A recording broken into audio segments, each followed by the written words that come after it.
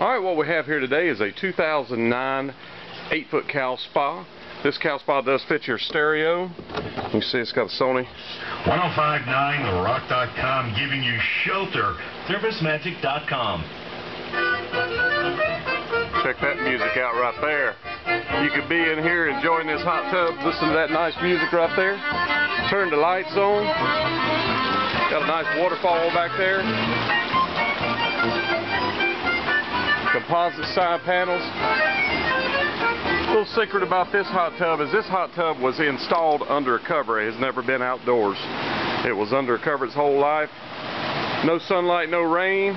Beautiful hot tub. We have new neck pillows in it. It's got this, uh, it's got the speakers here. It's got a nice little waterfall here that you can turn on. Every time you turn your lights off and on, they change to a different color. Try that one time. And they even change colors. You can make them change fast and slow. Just a beautiful hot tub. 48 to 50 jets, somewhere in that neighborhood. Even has a disco in it. Come and get it today. Come and see the spa guy.